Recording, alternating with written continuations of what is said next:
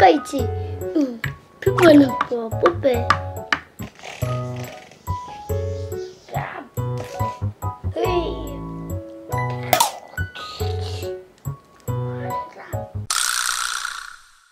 こんにちは、ももチャンネルです。今回紹介するのはこちら。仮面ライダージオビルドアーマーです。外箱はこうなってます。裏はこんな感じです。ジオとゲイツにも装着ができるんよ、これ。じゃあ早速開けていきます。楽しみ。いくよ。せーの。何このパーツ。ロボット。すごいいっぱいパーツが出てきましたあゲイツの顔もあるよなにこれ完全にロボットこれロボットロボ今回のはシールも入ってます衝動みたい中身出してみたい。じゃあちょっと中身を出してビルドアーマーを作っていきます。ロボットの一部。でシール貼っていい？裏にゲイツを貼るよこっち側がジオウのボディで反対側はゲイツ用です。まずはジオウの方を貼るよ。ここジオウって書いてある。見てできたよ。次はジオウね。あ違った。ゲイツ。はいシールを貼りました。それじゃあちょっと付け方とかを試してみます。じゃあまた後で。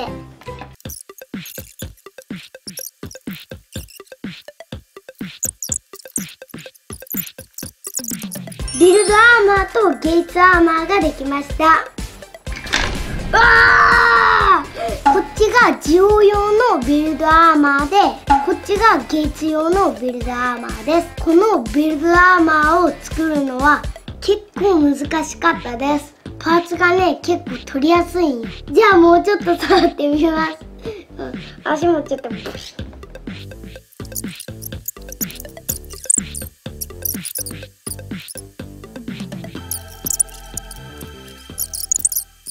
じゃあ今からジオをビルドアーマーにさせていきます。一旦全部取るんよ。このこっからベルトを取る。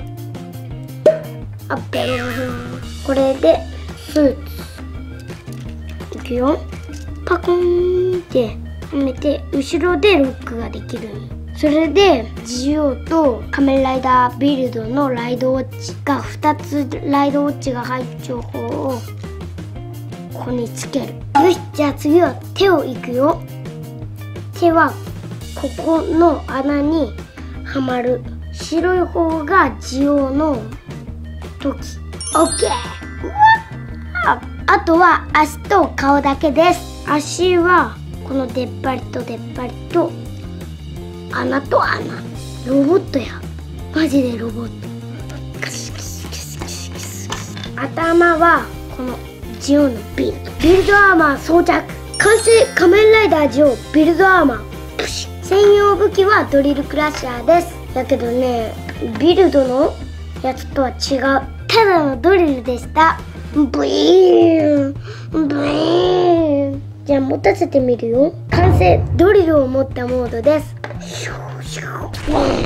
同じようにしてゲイツにもつけられます。けどまだゲイツは発売されてません。ビルドアーマーはなかなか活かしてます。みんなも作ってみてね。バイバイ。